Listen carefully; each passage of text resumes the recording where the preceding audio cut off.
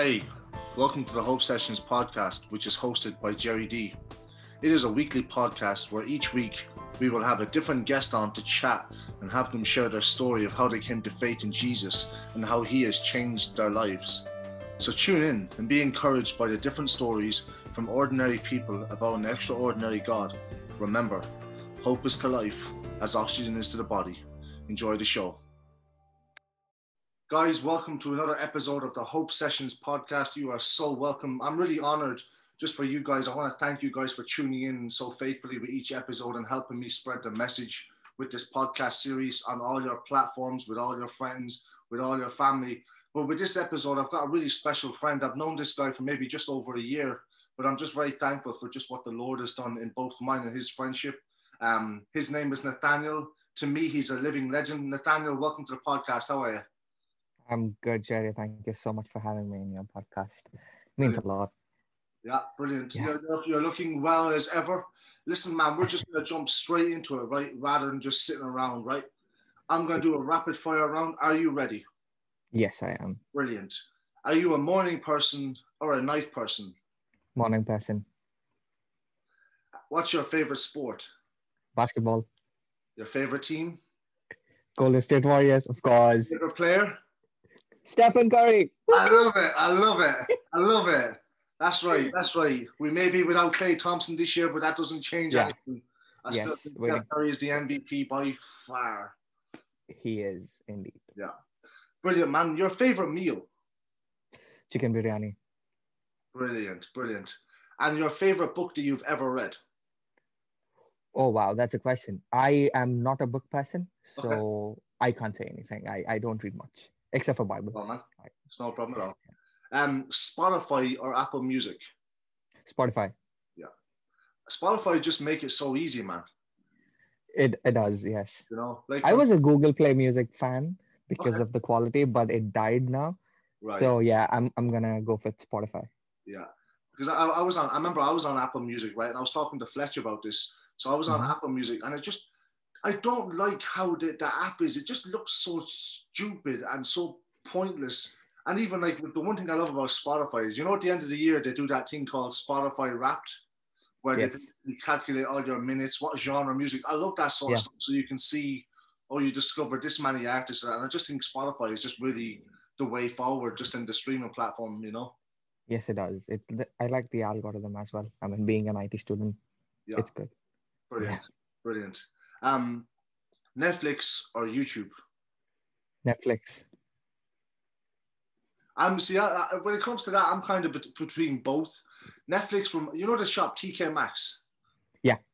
Netflix is kind of like TK Maxx, right? Sometimes you go in there and there's loads of great stuff on sale, and you're gonna buy the whole rail. Other times you go in there four or five times in a row and there's nothing. Do you know? It's true. Can That's- I change my answer to YouTube now? Hey, hey. That's why I like YouTube because YouTube's great for like. Obviously, I'm a big sports fan, so I'll watch a lot of Yeah. like, interviews, highlights, that sort of stuff. So YouTube is kind of very easy to find stuff that you're interested True. in and stuff like that. So it's really cool. Because I, I just realized that I spend more time on YouTube than Netflix because because of that sports and technology. Yeah. It's brilliant. Um, what's your favorite hobby? Apart from basketball, Okay, photography. Photography. brilliant, brilliant. Yeah. Um, your favorite clothing brand? Wow. Um. Between like I mean, I like Nike and Under Armour.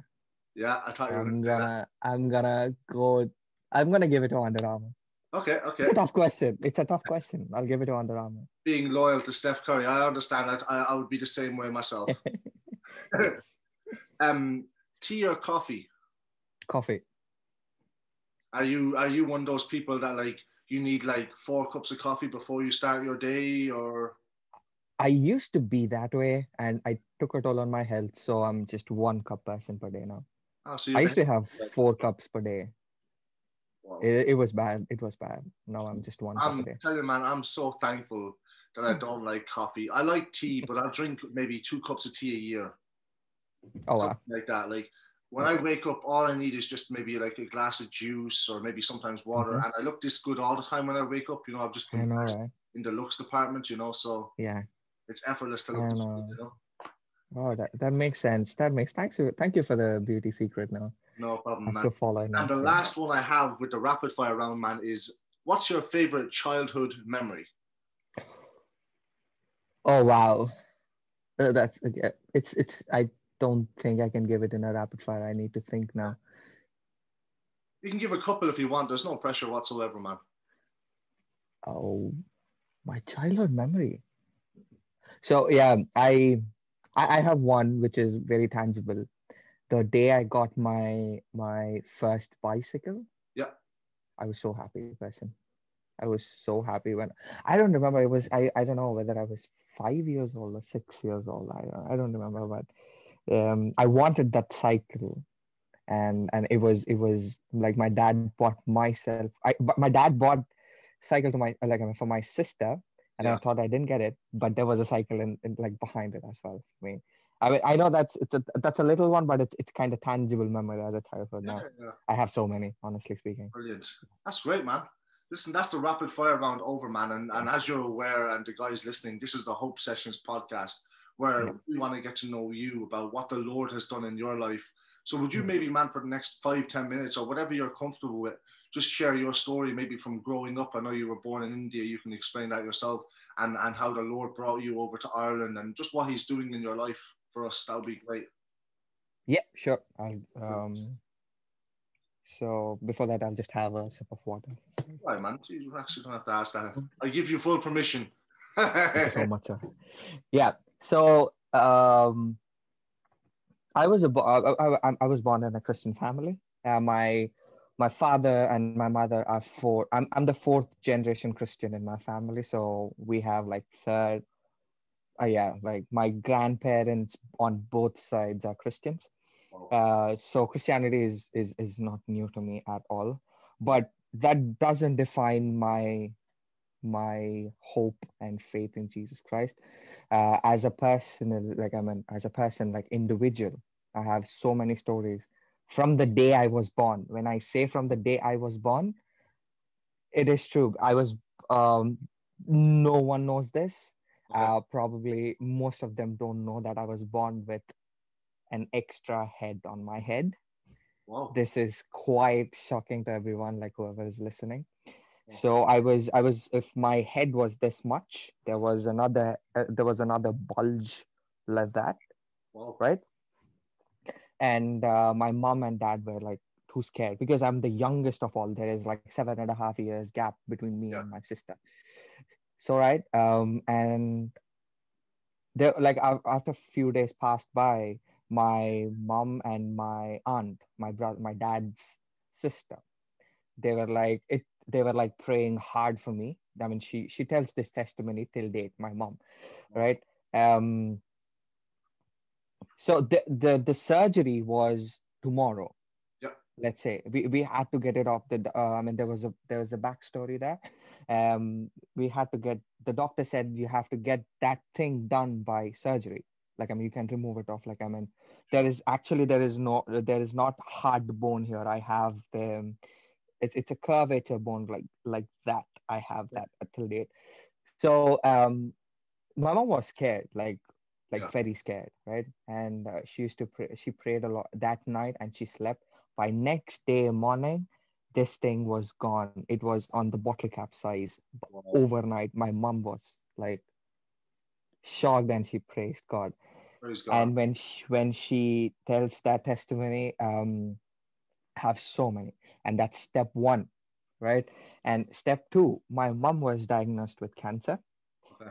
right um uh, she had a breast cancer and i was very young like very very young um uh, i remember like i mean long story short i remember i never saw someone i mean she's a medical person she's a nurse by profession. Yeah.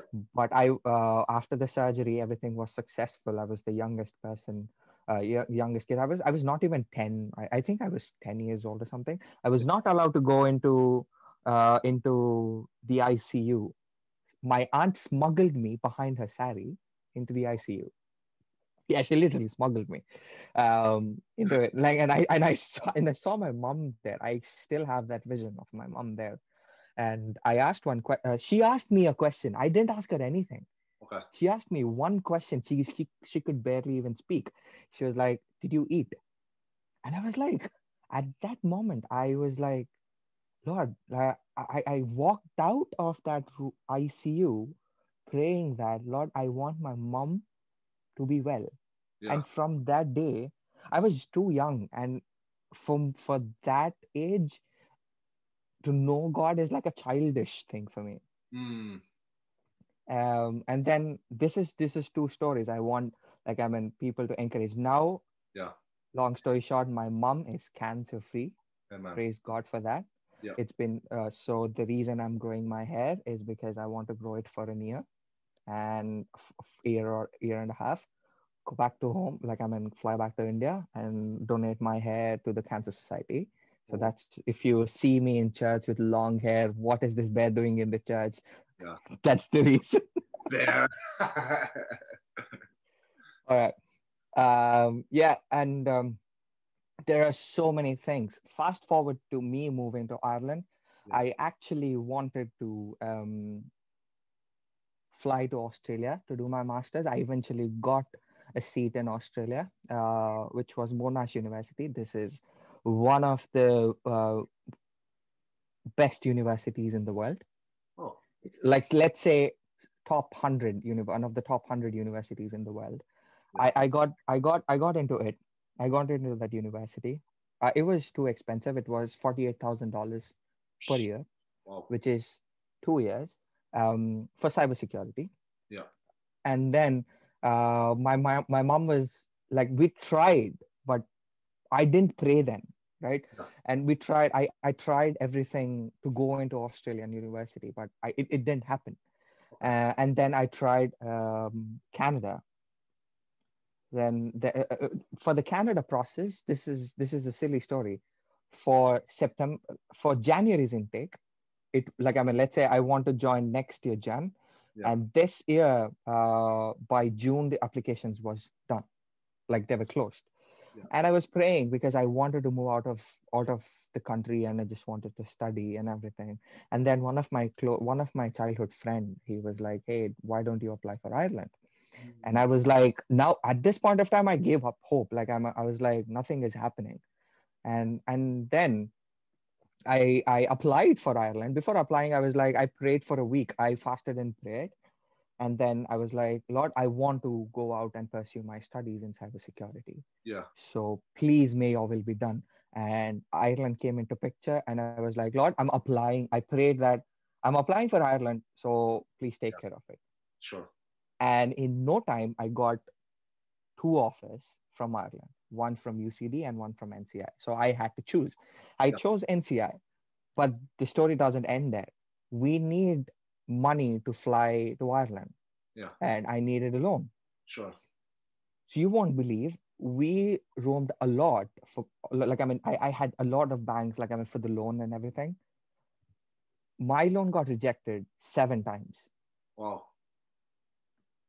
For no apparent reason. For no apparent reason, my loan got rejected seven times. At that point of time, my mom got retired from her service, so she had some money. Yeah. But but still, I I didn't want it to depend on her. And then uh, I my loan didn't get uh, approved for seven times. We were so frustrated, right? And then we were praying. My mom and myself, we were like literally praying and asking God, like, how do we do this? Yeah. and like something spoke to my mom she was like uh, she said like god is like asking me to give you money like i mean you already have money why don't you have why, why do you want to ask someone else you Yeah. send your son out of this country with your money which eventually happened Sure. that happened for good because we do not have to like i mean i do not have to did not have to pay the loan and have that financial stress in me Yeah. you get what i'm saying Yeah. so this did it all these did not happen i'm sta- i'm sharing bit by bit from the day is because these all these events i don't think humanly it is possible Yeah. i mean these are these are not um, um i mean done by human intervention. It's it's only because of we having faith, God working in us, Yeah. we having trust in God, pray, submitting everything in prayer. That's right. You know what I'm saying? Um, and and and believing in Him and trusting Him. These are the these are the faith points. Yeah. I'm here, standing here, and boldly claim that yes, I believe in Lord Jesus Christ, and yes, I believe, I trust Him in in in, in my future. So I have that hope. Amen. No matter how much darker the days are, we always have the rock in our lives, which is Lord Jesus Christ and His promises Yeah. And and and if we are in that dark times yes we are in there but we are not alone. Mm, i was in there. I was not alone. I was i was there in the dark times the day i was born. I saw my mom in that dark times that like i mean at the age of 10 and Yeah. i was while i was moving out of the country i was in that storm in the dark time. But i was not alone in in those stages. Yeah. I saw God moving and and and his his his protection. If we go, I mean, in that thing, if you're if you, let's say if you're looking if you're looking the problem way too close, Yeah. it's it's hard to, Yeah. to you know solve it. That's right. But if, if if even if the problem is too close and if we have Jesus behind, like I mean, beside us, is Yeah. like, hey, don't do this, just move around this way and that way. He'll guide us. Yeah. So Gerry, that's I, I don't want to take so much of time, but that is that is um, a tiny bit of there's the there's a lot to it. So Sure. those are the three stages I wanted to explain Yeah. uh, on on on how my faith stands, how what's the hope.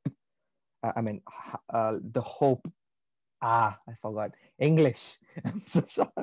You're right, man. All good. Yeah. Yeah. Yeah, that's that, that's the journey I had so far, which Brilliant. is perfect. Yeah. Yeah, man. Listen, thanks for sharing I Even like I'm encouraged by hearing that. Like even even from when you were born, you know, you you had that um growth on the back of your head and how your mom prayed to the Lord who healed you overnight, man. That's that's a powerful statement. And even how you've seen the Lord um at work in your mom's life, your mom's example of faith. And then, you know, you've encountered that for yourself, you know, and even to see how you planned to go to Australia, Canada, like, you know, Proverbs talks about, you know, acknowledging the Lord in all your ways and he shall direct your path. It also talks about how, um, I'm paraphrasing, how a man can make plans, but the Lord determines or orders his steps. And it's pretty clear, man, to see that, that the Lord has ordered your steps here to Ireland. He's also placed you in our church. He's ordered all that before time even began. You simply were just walking in it. And I know for Sure. me, man, I've deeply been encouraged by your friendship, and I, I think you know that by now. But I want to say that publicly because it's mad to think just how quick both me and you connected. I'll, I'll never forget it. It was a Sunday night at Young Adults at Court Church. Um, Yes. maybe someone's watching this podcast. Check out Young Adults at Court Church on YouTube and, and Instagram. A phenomenal ministry that I love attending every week.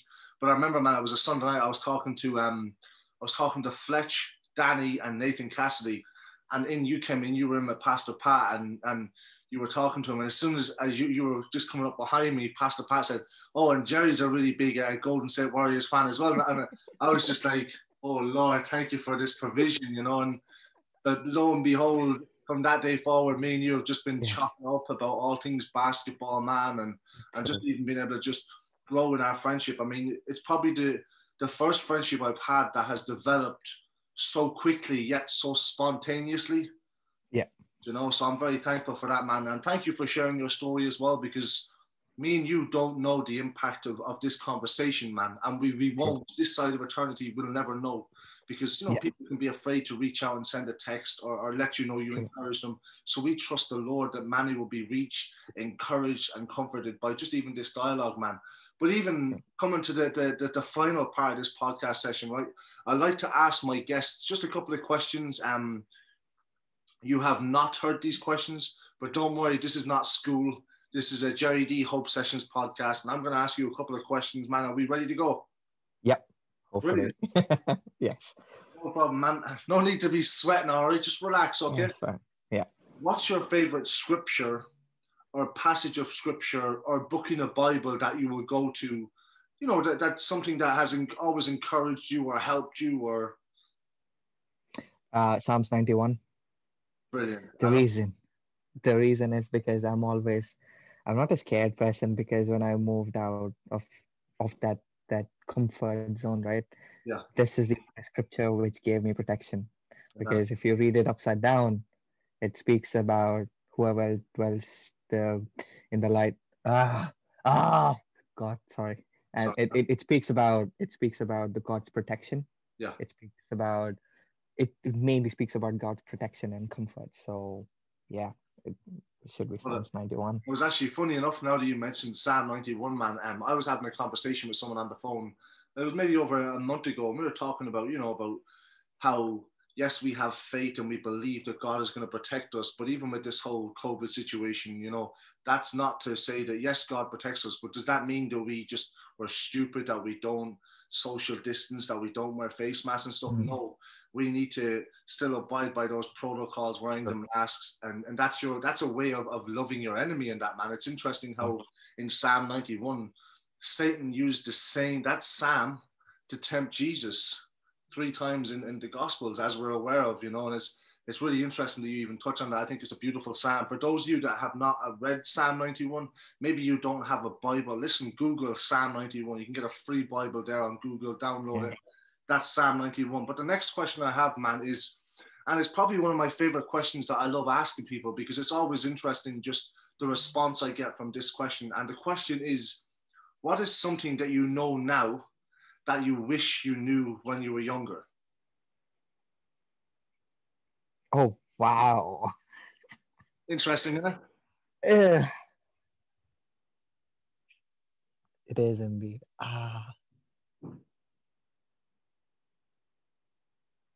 Should it be intellectual or it, it can it be can it be anything?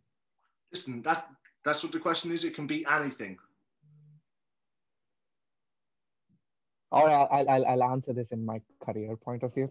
Yeah. Um, if I if I had like I mean if I know about cyber security or now it's booming, right? If Sure. if I knew the technology and cybersecurity way too younger, Yeah. like maybe in my schooling, Hmm. I would have been a better better analyst or better better in in a career wise Okay.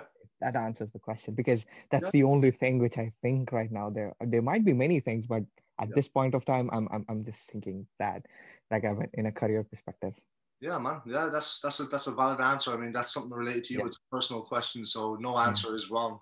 I know for me, even to come back on what you're saying there, man. Um, I've learned a lot of things. Obviously, I'm 25 now, so I've you know you go through your teenage years and leaving home Yeah. and all that, and you know you naturally become independent and all that good stuff. Yeah. But, but there's one thing that I'm so thankful that not only have I learned, but that the Lord has freed me from, and it's Sure. the opinions of people. Yeah, There's one thing I know for sure, one million percent confidence in my heart. People are not thinking about you because they're always thinking about themselves. We can become so inward focused. You know, how am I being perceived? Um, how do I maintain my uh, my reputation and and all this stuff? And the reality is, man, when you know your identity and your Yeah. security in Christ, that Yeah. he's the only one that's going to be there when the waves of life come in and, and may destroy every other foundation that's not of him that his opinion towards you doesn't change people can be very fickle man like they, they like you one minute and then the next minute they don't or you may say something stupid and suddenly they could get bitterness in their heart towards you or whatever like i remember someone said this to me a long time ago but it stuck with me they said people are like a hot water bottle when they're Mhm. refilled they're hot because the hot water's inside then they go cold and then they need refilling. true. And I'm not sure if that's making sense, but to me, that's a powerful analogy. You're hot, you're cold, you need refilling. Do you know, and that's just even for me, that's Okay. definitely something that I've learned, man, just even in life. I mean, I, and it's amazing now that I know it, that in my heart, I can see it in, in life. I can see how people can become so, you know, obsessed with, with how they look and, and my picture's Oh, not yeah. filtered enough and this doesn't have enough likes and all this stuff. Listen, likes mean nothing. They an don't- algorithm. All it does is keeps Instagram, Facebook in business.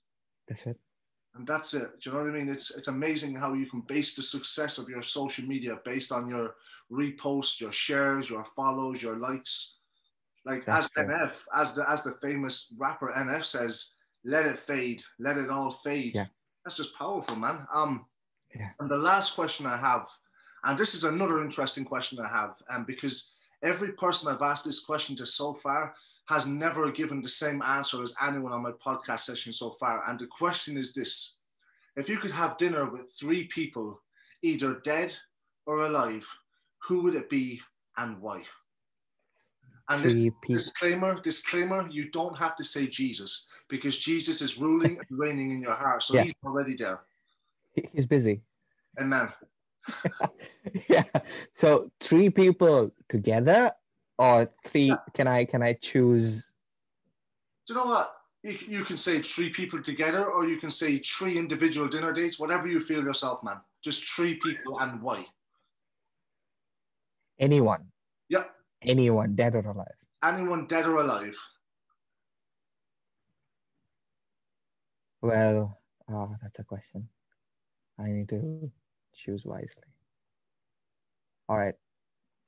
First, alive is, of course, first thing is Stephen Curry. Why I, not? I knew it. I was about to say it. I love it. yeah, Stephen Curry. Why? Uh, because he, uh, like, I mean, if, if I mean, whoever is not basketball fan, yeah. uh, I uh, and whoever knows the basketball, they know the story. Um, because he was he was not the top picks at all. Right. He he took uh, Golden State Warriors from nothing to something. That's right. Um, he's um, I, I I want to ask so many questions on how and you know what he is the world's best shooter, but he is Hands he has down. blurry vision. He is a bloody vision guy. He doesn't have clean sight. Oh, really? So yeah, he doesn't have a clean sight. I mean, he he he had to undergo laser surgeries. oh. He doesn't have the clean sight like us. Okay, so he's the world's best shooter and he can't even see the hoop. Oh my goodness. Yeah. Yes. Crazy. Fun fact. So yeah, that that why is because uh I I need to ask him more like I mean I want to ask questions like this. How do he dedicate himself for practice? Yeah. And uh, how where like I mean I want to ask him questions about his faith. Yeah. Because he's a Christian and That's being a girl dad of three people and and and managing his his his identity, his his profession That's right. and faith Yeah. um and and being with how he how, how is he managed like i mean managing all that all of that and and yes he's a human being in the end. Yeah. um uh there there are chances of him falling apart but it, it's god who's who who is who is in control in them. So i want to i want to ask these questions. Yeah. and the second person phew, this is a tough one the dead or alive. Can i choose from a character from bible? No As I said, anyone right well, oh yeah in the Bible ha- is is most likely dead now, but they're fully Yeah. alive in heaven. So you can say whoever you want, man, dead or alive, Bible characters, not whatever you feel. Already you Alright. the best shooter in the world who can't see the rim. properly it is in, in the, like i mean he even told in, in in the interview that he had to undergo some laser surgery to see the hoop properly wow. Yeah. I'm never, Um, I'm never gonna actually view him or look at him the same way again. I'm gonna be in even more of awe of him. Yeah. yeah um i would go the second person would be job from bible the, Okay. the, the character job Yeah. the reason is because he had everything yeah, he lost everything that's and he regained everything i Mhm. want to ask that question how on earth did you have faith when you lost everything job Yeah. like can you please explain me Yeah. can you i mean i would i would having that chicken tikka masala and roti with him and and sit down with him and I'm like can you please tell me the Yeah. journey of your experience like how how like i mean what's the thought process i mean how, how did you maintain that Yeah, Um, so that's the character I like. I mean, I, that's the person I would have dinner with. And third person, it's so tough, man. You are this is this is so tough. This this is gonna take time. The third person. Sorry, man. That's why it causes people to think on the spot, and, and I like that. You know. Yeah, it does, and it creates an awkward silence. There's no awkward silence here anyway. On my side, I'm cool. Ah. Uh, oh wow. Third person. Uh, uh, uh, uh, uh. Do you know the evangelist John Wesley? I've heard of him. Yeah, I haven't listened to much of his stuff or that, but yeah, I've heard of John Wesley. Yeah. The, I mean, I no, he is too busy to have. I think he he had forty five thousand sermons preached in his entire life. Oh. That is that is six sermons a day, maybe wow. six to seven sermons a day. Oh my goodness! Wow. I, I wouldn't I wouldn't choose him because he's too busy. Sorry. no. He'd be sitting down having uh, dinner with you, and he's just writing a sermon while you're just talking. He's like, "Yeah, no problem. Two seconds there." uh, the third person would be my mom. Awesome. She should because I miss her. I miss her a lot. I would I would sit down with her right now and and and just chat anything. Yeah. She's she's Stephen Curry fan as well because I introduced. Oh, yeah, yeah. So yeah, I would, the third person would be my mom. Honestly speaking, um, because she is my role model. Yeah, she is. She gave everything, and and yeah, yeah, like job, she's man. a third person alive now. Yeah. Yeah. That's, well, that's great, man. So you pick Steph Curry, who is the greatest shooter who can't see the rim properly. Um, you pick Job, who, as you said, he had everything, lost everything, and gained it back. I mean, that's a remarkable story in and of itself. Yeah. If you guys watching this podcast haven't read the book of Job or heard about Job, I would encourage you to just to check out his story and just see the journey he was on, and it might even build your own faith in who he is. And then Nathaniel touched on his mom. I second that man. My mom is at that table before anyone else. Um, remarkable yeah. woman. I'm very thankful for my own mom. Yeah. This is the example yeah. of a godly woman she is in, in despite in the midst of the storms of life, how she's yeah. steadfast in her faith in the Lord. That's been a remarkable testimony to me, man. But listen, I wanted to just take a moment, man, to to publicly thank you for just coming on this podcast. Um, no problem. You were a dear friend to me. We talk a lot off camera anyway, so to me, it's not hard to brag on you. I mean, every time we hang out, it's always good vibes. We could talk about anything and have the best conversation ever, and that's what I love about you, man. But guys, for those of you that have tuned into another episode of the Hope Sessions podcast, thank you so much. Thank you for your ongoing support, your encouragement, and I would even ask that you will continue to share these episodes with your friends, your family, your friends, friends, cousins, sisters, brother. It doesn't matter who you send it to Send it to everyone, like, share, and subscribe. And we'll see you next week for another episode. Remember, guys, that when we talk about hope, we are not talking about a theory, about an object, about a sensation. We're talking about the person of Jesus Christ. And let me leave you with this Amen. beautiful quote Hope is to life as oxygen is to the body. And that person of hope, his name is Jesus. And you can know him today if you call out to him. Um, but yeah, guys, stay safe.